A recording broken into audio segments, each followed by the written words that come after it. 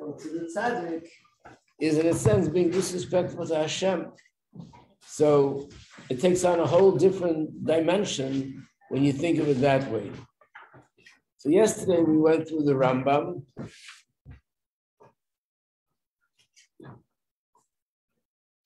It's interesting, sometimes people, when you quote the Rambam, they will say to you, well, the Rambam was the Sephardi, and we are Ashkenazim, at least those are Ashkenazim, and therefore we're not bound by the ruling of the Rambam. But the truth is, it's a mistake. Why is it a mistake? The Rambam was really a Sephardi, that's true. But it's not true that we're not bound by the ruling of the Rambam. Not only that, but the Shulchan Aruch, which is the code of Jewish law, which we all follow, the one who wrote it, eh, he wrote it uh, 400 years after the Rambam. Whatever he wrote is based on the Rambam. So if there are places where the Ashkenazic authority disagrees with the Rambam, then we say, okay, so the Rambam's ruling is applies to Sephardic Jews, and the Ashkenazic ruling applies to Ashkenazic Jews. But if the Rambam gives a ruling, and there's no other ruling that disagrees, then we go by with the Rambam's words. So in this case, we don't have to look too far, because in the Shulchan Aruch, the code of Jewish law, which all Jews follow, it has the same halach. I don't have this in English, but it's it's underlined, and I'll just read the word slowly, it says very similar to what it said in the Rambam. And in fact, the origin of this is in Gemara, and I'll soon show you it's in it's in um, not all of it is in Rashi and Chumash. Part of it is in Rashi and Chumash. Call a rabbi, whoever argues against his rebbe, Again, this is Shulchan Aruch, the code of law. It's like arguing against the Shechina. Rabbi, if somebody leads a, a uh, in other words, the first one is if he disagrees. The second one is if he leads an argument, like creating controversy with his Rebbe.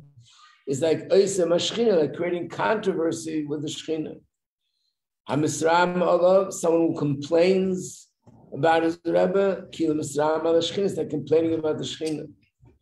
Whoever doubts his Rebbe, doubts the integrity of the Rebbe, is like he's doubting the integrity of the Shechina.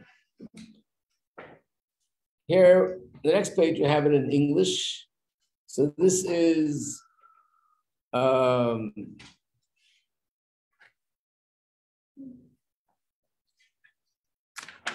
this is Rashi. Here in the Chumash it says Moshe told Joshua, "We're going to fight Amalek," and he used the words "B'char lanu anashim," choose for us appropriate people to go fight. When he said choose for us, who's us? Me and you. Moshe and his students. So it's it means that Moshe is equating himself with the students. Mikan Omru, this is the source that our sages said, the honor of your student should be as dear to you as your own. And therefore, he put himself and his student on the same on the same level.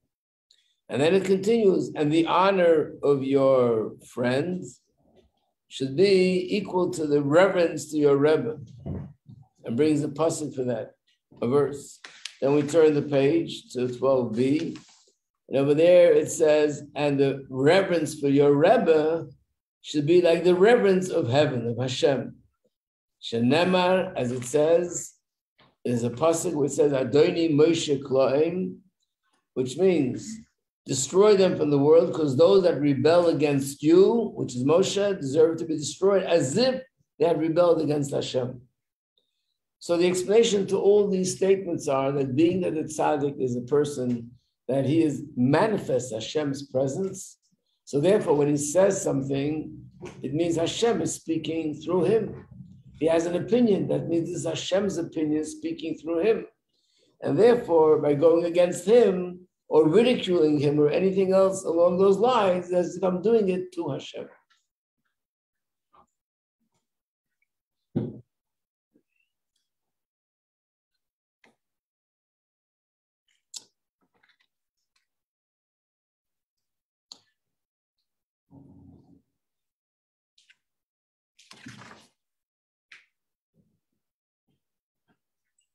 Another example, this is uh, pasuk that starts on page 13. On top of, just look at the pasuk, the one that's underlined. It says, on top of the page, and the Almighty, and he called him the case, so the Almighty is God of Israel. Then in Rashi, there's a discussion what those words really mean. In Rashi gives two explanations. One is on this side of the page, on the other side of the page is another explanation. So look at Rashi, Rabbi Sena Darshu, our rabbis, our sages interpreted to mean, Shakodesh Baruch Hu Karol Yaakov Kel. It was Hashem who called Yaakov Kel. Kel is Hashem's name, but that's what it is called Yaakov by that name. Why? If you look at the footnote here, whoever published the Chumash already writes, as if it had been written the God of Israel called Yaakov Kel. Why? Since God reveals himself upon this world through the tzaddikim, through Yaakov, therefore Yaakov can be called Kel. Which means when we say the word and we refer to Yaakov as Kel, we know what it means. We're not, God forbid, referring to a person in, in, as divine, but it means that we know that Hashem's divine presence manifests in the world through the tzaddik. So this leads us to another thing. This means that if a person has is disrespectful towards the tzaddik, in essence, is being disrespectful towards Hashem. And that's the explanation why people feel that their you know, respect that people show to a Rebbe is a little bit overboard, it's extreme, it's going out of your way. And the answer is yes, because it's not just respect for a person for his knowledge, for his academic achievements, or for his good name, his good character traits. It's really also respect for the presence of Hashem that's within him. Again, this I don't have in Hebrew, in English, so I'm just going to read the Hebrew. This is a pasuk in Beshalach, but some of you might say this in the davening, because we say this every day when we read the song that he sang by the splitting of the sea. What does it say? Vayiminu b'Hashem, and the Jewish people believed in Hashem, and in Moshe, his servant. So the Medrash asks, if they believed in Moshe, of course they believed in Hashem. Why does it have to say both? They believed in Hashem and Moshe. If they believe in Hashem, certainly they believe in Moshe. So the answer is, this comes to teach you that whoever believes in the shepherd, the faithful shepherd of the Jewish people. This is equivalent to believing in the one that spoke and created the universe. In other words, belief in Moshe is an expression of my belief in Hashem. There's another thing similar to this. It says, by Daber, Moshe, when the Jewish people rebelled against Moshe, it says they spoke out against Hashem and against Moshe. Again, if it says that he spoke out against Hashem, why does it have to add they spoke out against Moshe? But this comes to teach us whoever speaks against the faithful shepherd of the Jewish people, it's as if he's speaking against the one that created the universe, which is Hashem.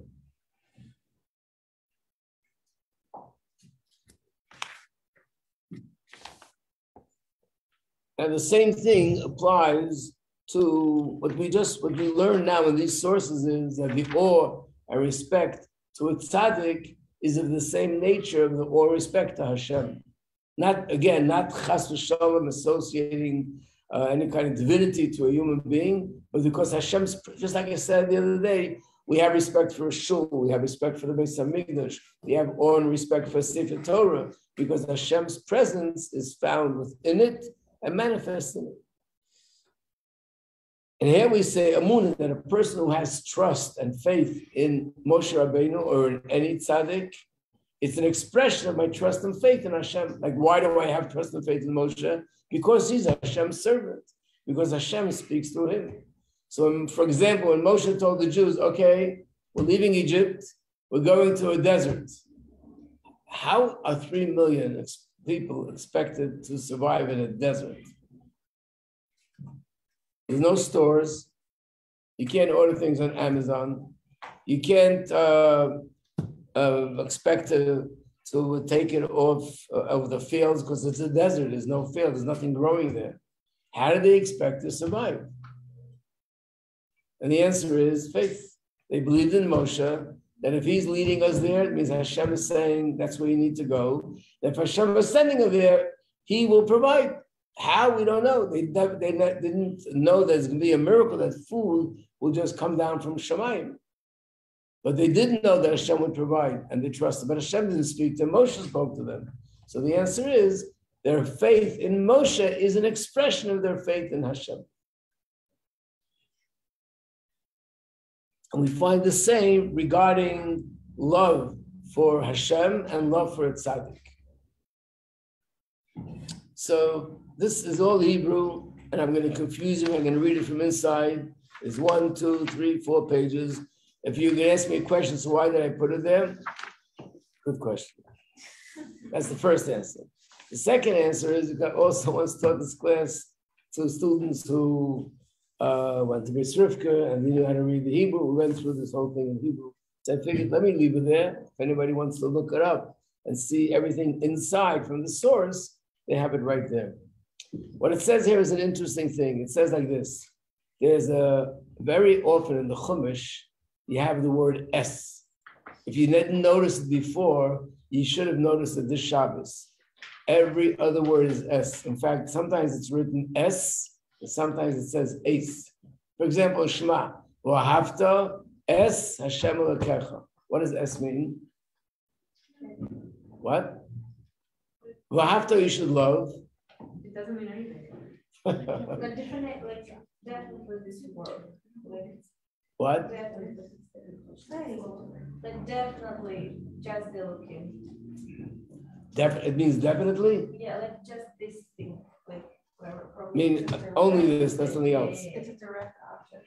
Yeah, yeah, yeah. It's a, it's a strange word. And in a certain way, it doesn't have a, a real translation, but it's all the time, it's always there. Hashem, S, Hashem, the word S, start looking around, you'll see how many times it's found. So um, there was a, a sage that he said, true. And therefore, every time that the Torah writes the word S, it's teaching us something. And he went through the entire Torah from beginning to end, took each verse that had the, letter, the word S, and he showed what the word S is adding. He came to one place where it says you should fear God your God. And it says these words, Es Hashem Elokecha Tira. God your God, you should fear. But it also has the word S and he couldn't figure out what is the S doing there. And then he said, well, if this is not consistent, that means everything else I said before is also not acceptable. I'm canceling my whole approach. I have an approach that every time it says S, it must be teaching something. And here I can't think of anything that is teaching us. So it means that my rule doesn't hold. So I take back everything that I said. And he took back all the teachings that he gave. Later, there was someone else by the name of Rabbi Akiva, and he said, You don't have to do that. That S also teaches us something. So we can put everything back again. What does it teach us? Not only should you fear Hashem, you should fear the tzaddikim, you should fear the Torah scholars, like you fear Hashem. Because we just learned now that fear for tzaddik and the awe and fear of a tzaddik is the expression of our fear of Hashem. So the word S comes to add just like you should have awe and fear for Hashem, should have awe and fear for a tzaddik. So when this Gemara discusses this point, there's another one of the commentaries bring that it says another pasuk, which I just mentioned. You should love God, your God. We'll have to es Hashem What does es add there? The same thing. Just like you should have love for Hashem, you should love Torah scholars, which means if you love Hashem, then you love those that are attached to Hashem, that are connected to Hashem.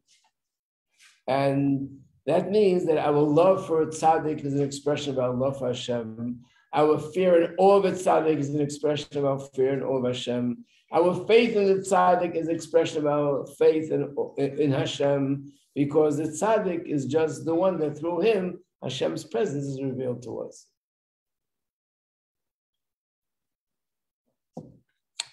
So what I meant to accomplish here is number one, to show you the source.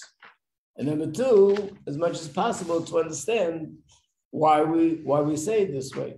But this is why you find that by Chassidim, their attitude to the Rebbe is so much stronger because this is something which is discussed much more in Chassidus.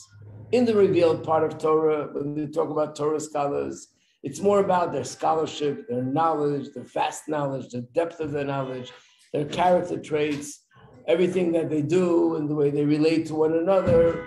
And that's the way it is on the outside. And this is a deeper inner dimension, how tzaddik is so much connected to Hashem that Hashem's presence is revealed within the tzaddik.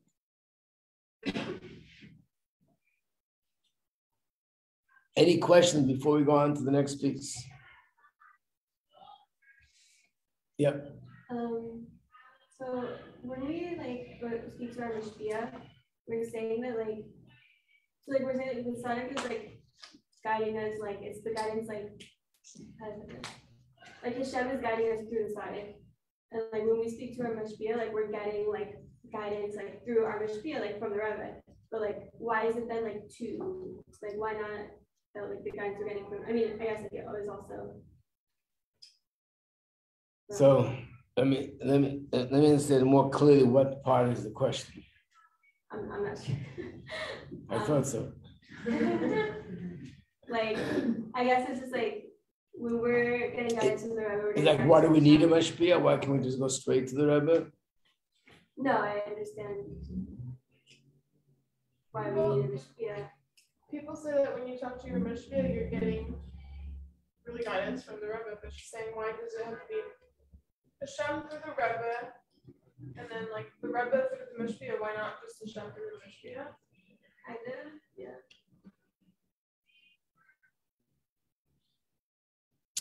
So again, ordinary people that are not tzaddikim, we can't say that Hashem's presence manifests through them because they're not really so pure to say that Hashem could manifest through them. Doesn't mean they're doing terrible things, but a tzaddik is not just that he doesn't do terrible things. A tzaddik is a person that's exceptional in everything. And as a result of that, he is a uh, sort of appropriate vessel that Hashem's presence could manifest through him. So to say that Hashem inspires me, whatever I think or feel, that's not true because I'm not on that level that I can get that kind of an inspiration. A tzaddik, yes. Then the Rebbe tells us go to mashpia. So first of all, the reason why we need a mashpia is because the Rebbe says things in, in a way which is for all of Israel, for all Jews, and then every person has to know how to apply that to themselves. In fact, sometimes the Rebbe could say something, and but the specifics, how it applies, it can apply to one person one way, and another person can apply it totally different, even though it's based on the same principle, the same teaching. Because so that's where we need a mashpia who understands what the Rebbe teaches, and he'll help me, being that he's objective, not like myself, that I'm not objective, and guide me. But what we're saying, what you mentioned is that the Rebbe said that when he tells us to go to Mashpia, in a sense, he's giving a bracha to the Mashpia that he should be able to guide me the right way. So it's not like I'm putting myself at risk by asking another person for advice, but the Rebbe is giving us a bracha that is sometimes received more openly, sometimes not so openly, but it means that the advice that this person is giving, who is connected to the Rebbe, because to be connected to Rebbe, you know, it's not like you have to be tzaddik connected to Hashem, which is on a much higher level. So connected to the Rebbe is someone who's dedicated to the Rebbe's teachings, the Rebbe's actions, the things the Rebbe asks us to do, and through him, the Rebbe would be sending a message to me, inspiring him to say that I am in a place that what comes to my mind is direct inspiration from Hashem. We're not on that level.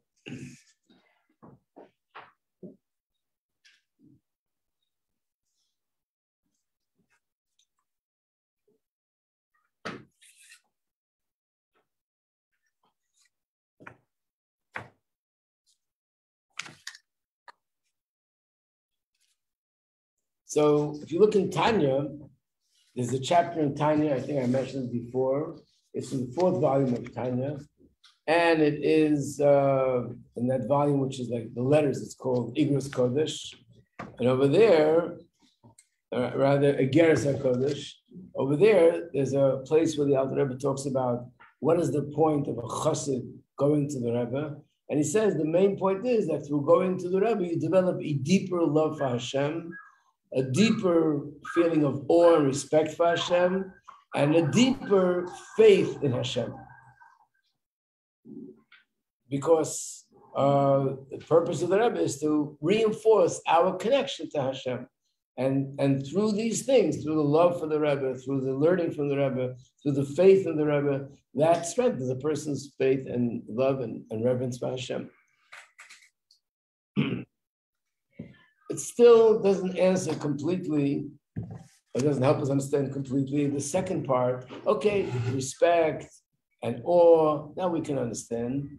But why are, why are our lives so much connected and revolve around the Rebbe?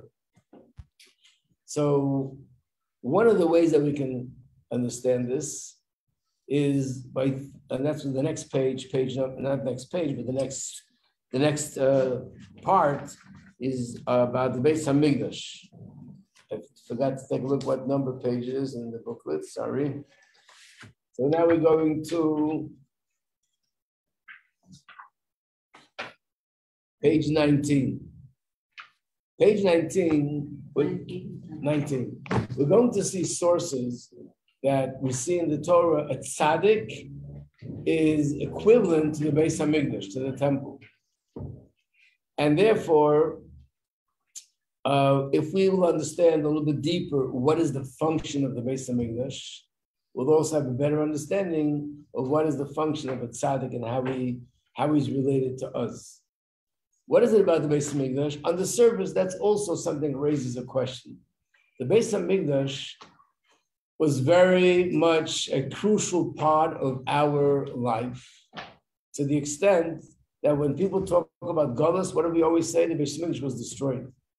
In fact, it is interesting. If you stop someone on the street who is religious and you say, Do you observe the day of Tisha B'Av when we mourn the destruction? You know, and you stop the person on the street and you say, So why do we mourn on this day? What happened? You know what the answer is going to be? The Beis Hamikdash was destroyed. But besides the Beis Hamikdash was destroyed, there were more things that happened. There were hundreds of thousands of men, women, and children that were massacred. There were hundreds of thousands, if not millions of people that were taken away in chains as slaves, tortured. So why did we just mention that the Beis Hamikdash was destroyed? In fact, if you have three things on a list, one is that hundreds of thousands of people were murdered. Two, hundreds of thousands of people were taken away as slaves. Three, the big sanctuary was burned to the ground. Which would you put on the top of the list? Which would be a, the second? Which would be the third? I was thinking the top of the list is that people were killed. The second thing is people were tortured. And the third thing is that a building which is made out of stone is no longer standing. And yet, most of the time, people always talk about the Beis Hamikdash as if this is the most important part. So what we're going to explain, once we understand it, we'll see the reason why that's always mentioned is because everything else that happened that's negative is a result of the Beis Hamikdash being destroyed. It's all a result. That's the main thing that causes everything else to happen. So let's understand what's the function of the Beis Hamikdash. Another thing which raised a question, some of you might remember we spoke about this in the beginning of the year, and that is if you stop and think about this as reality, it's pretty shocking how much time the Jewish people spent going to the Beis Hamikdash. Now, I'm trying to think this in a very practical way. It says in Gemara that when they went to the Hamikdash, the halach is they shouldn't be going by horse or wagon, but they should be going by foot. By foot. How long does it take to walk from one place in Israel to another place by foot? Depends where you live. The Gemara says that those that lived the furthest took them two weeks to get there. Whoever lived in the furthest part, geographically speaking, in Israel,